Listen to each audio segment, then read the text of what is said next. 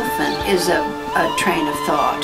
It's walking through water with sand and then shells. And um, I wanted it to be a very striking composition, but I wanted to also create the space that you see with elephants. And I came upon some wonderful looking material because I'm very interested in fashion. And then I loved the idea, the elephants are big, to make great big shells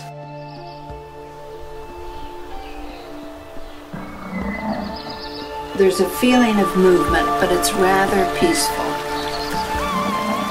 And this is a sort of interesting example of how I like to have the sand and the water fuse into each other. I think by and large you instinctively know when it's done.